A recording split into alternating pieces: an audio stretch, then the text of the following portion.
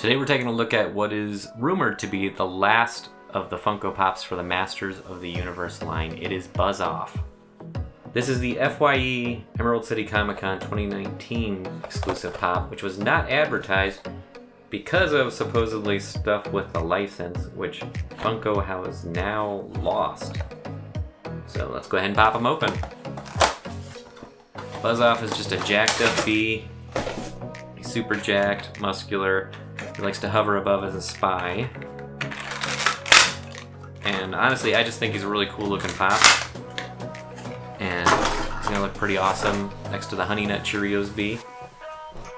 Here is Buzz Off. So you see his eyes are a bit metallic. He's holding an axe. Got pincers on the other arm. And he's got those little like nubs of spikes on his arms as well and on his legs. He's got those big talons on his feet.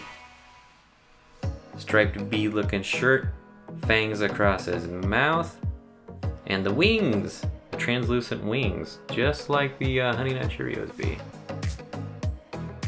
So, cute little ears up top, or antenna, whatever you want to call them.